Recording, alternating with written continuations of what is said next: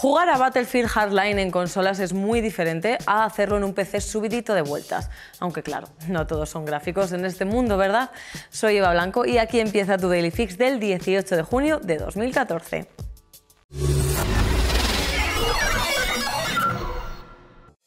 Si quieres ver cómo mejora Battlefield Hardline en un buen PC frente a lo que jugamos en PS4 durante el pasado E3, solo tienes que pasarte por su web. La buena gente de DICE, SN y Electronic Arts han abierto las puertas a todo el que quiera sentir los aires nuevos de la saga. Entra en battlefield.com barra beta, mete tu fecha de nacimiento, no seas tramposo, inicia sesión y sigue las instrucciones. Te hará falta un PC o una PS4 para empezar a jugar con versiones de la beta para Xbox One, Xbox 360 y PS3 aún a la espera de noticias.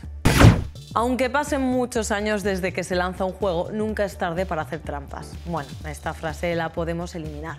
¿Qué tal un... ¿Sabes que han descubierto un fallo en Super Mario Bros? Y sí, han pasado casi 30 años del lanzamiento. Los bugs que tiene se cuentan por cientos, pero no nos importa. Es un clásico al que ahora es más sencillo meterle vidas infinitas. Bueno, tampoco es tan fácil, pero es Super Mario Bros. Ya sabes, te lo deberías conocer de memoria. Debería ser asignatura obligatoria y hasta está en algún museo. Después de pasar 15 minutos dentro de un cajón con la respiración de un alien en la oreja, a ver quién se atreve a dar cifras. Alien Isolation puede jugarse así, sobre todo con Oculus Rift, escondiéndonos donde podamos a la espera de que el bicho ese se vaya a otra habitación. También podemos ir de valientes con el mechero en la mano, asustar al xenomorfo y ser nosotros los que salgamos por una escotilla. Pero en Sega lo tienen claro, con 15 horas nos podemos hacer el juego entero, disfrutarlo y sobrevivir para contarlo. Vamos, que va a estar por encima de la media en duración. La promesa de que los desarrolladores de Xbox One contarían con los recursos reservados a Kinect ya es una realidad.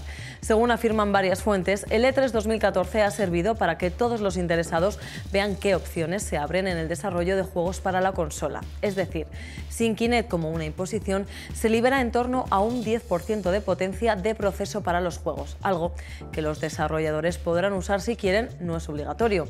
Como ejemplos tempranos tenemos el de Destiny, que apunta a 1080p de resolución mientras desde Microsoft afirman que habrá comandos disponibles en todo momento, incluso en juegos que prescindan de Kinect para tareas especiales. Esto se traduce en que podremos decir Xbox, graba eso y se grabará la partida. ¿Estás viendo esto en una Xbox One? ¿Ha funcionado? Esto es el final amigos del Daily Fix de hoy. No te preocupes que mañana volvemos. Mientras recuerda que puedes ver todos nuestros vídeos en la web, en IGN España, en nuestro canal de YouTube y con la app gratuita para PS4.